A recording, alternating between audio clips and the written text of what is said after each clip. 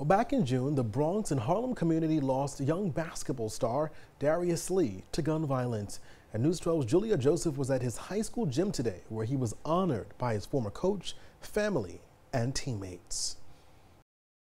We have to love on each other, be better, do better. A number that used to be worn on Darius Lee's body. My brother he lost his life for nothing. Now sitting in a frame.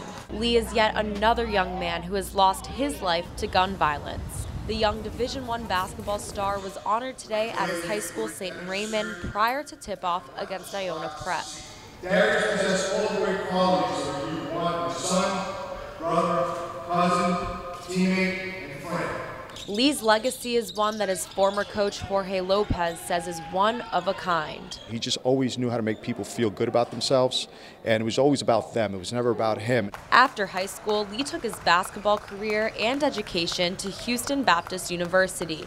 He was studying sports management and was supposed to be getting his degree later this month. Justin Hayes was Lee's cousin and teammate. Though he's not physically here to see his number commemorated, Justin wants Darius to know this.